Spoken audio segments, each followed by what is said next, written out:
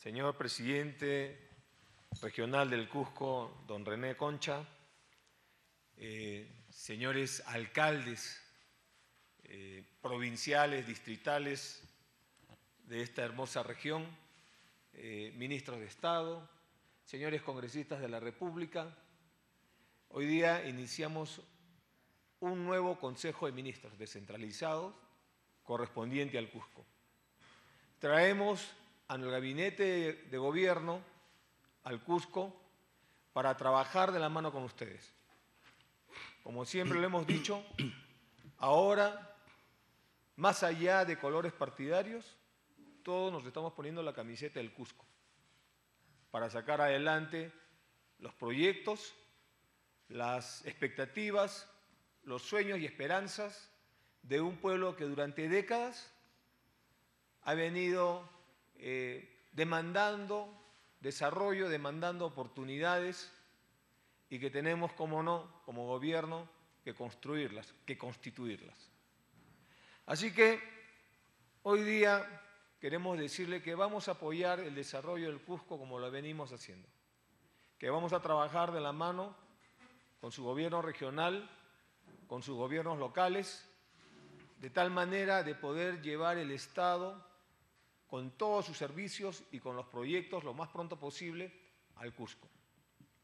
En esta propuesta, en este compromiso de gobierno, estamos comprometiéndonos, valga la redundancia, en una inversión que como podrán ustedes mirar en los diferentes consejos de ministros descentralizados que se han venido haciendo, el Cusco vendría liderando estos compromisos de inversión que superan los 10.200 millones de soles para el Cusco, que se invertirán y se tienen que invertir al 2016 en diferentes sectores, los cuales se van a plasmar, por ejemplo, en el proyecto de más de mil kilómetros de carreteras que se, se están haciendo en el proyecto Perú.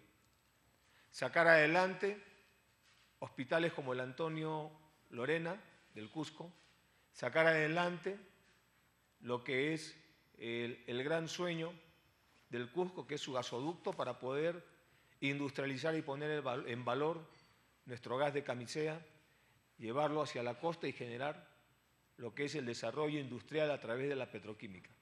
Es un proyecto que no se hizo antes. Son décadas que han pasado y que no se hicieron. Y nosotros lo estamos haciendo. Hemos avanzado, no ha sido un trabajo fácil, ha sido un trabajo muy difícil, en muchos casos hasta cierto punto incomprendido y actualmente inclusive puede sembrar dudas, pero ya está, se adjudicó y va este, este proyecto del gasoducto y se, está, se ha hecho el esquema financiero para que esto sea una realidad. Y dentro de este proyecto se priorizará el ducto para, para el Cusco. También dentro de los compromisos que incluyen estos, este, este monto de inversión, tenemos también el nuevo, la construcción del nuevo aeropuerto internacional del Cusco en Chincheros, que justamente dentro de unas horas iremos a la firma del contrato. Es decir, Estoy mencionando algunos de los proyectos en los cuales nos hemos embarcado. Son los grandes ejes que, marcan que van a marcar el desarrollo de las próximas décadas para el Cusco. Así que yo quiero decirle, quiero decirte, René, a los dos Renés, que tengo acá, los dos tocayos, a los alcaldes presentes, a los alcaldes que parece que están llegando todavía, se han quedado por el camino, de repente se han levantado tarde y todavía faltan llegar, ¿no? Eh, que se incorpore inmediatamente al trabajo porque queremos verlos. Y va a haber un momento en que los ministros conversen con ellos. Así que quiero decirles también de que este esfuerzo es plata de todos los peruanos. Y por lo tanto hay la obligación y el deber moral de custodiarla. En ese sentido, vamos a ser un aliado, René, en lo que es la lucha contra la corrupción. el manejo transparente de los fondos. Que esta plata vaya a la obra y no a la campaña electoral. Y que se vean las obras. Y que esas localidades donde hay plata de canon sea empleada para todos, empezando por los más pobres. Por esas comunidades nativas que están demandando agua y desagüe, que están demandando electrificación, que están demandando mejoras en sus postas médicas y en su educación. Los alcaldes que se pongan esa camiseta los voy a apoyar personalmente, porque tenemos que trabajar todos juntos en esto. Estamos acá para traer un mensaje de fortalecimiento de los gobiernos regionales, de fortalecimiento del proceso de descentralización, regionalización, pero bien hecho.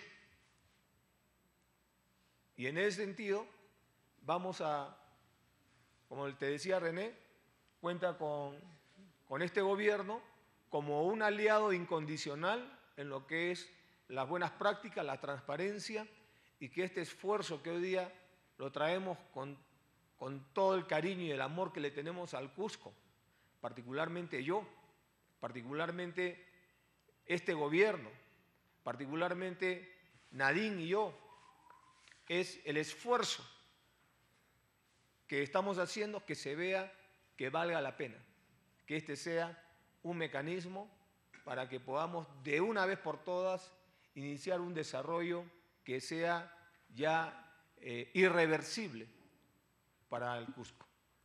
Vamos en este proyecto, en este compromiso, vamos a ampliar, casi doblar la, la oferta del programa de beca 18 para los licenciados, para los jóvenes del BRAIN, que también Cusco tiene BRAIN, ¿no?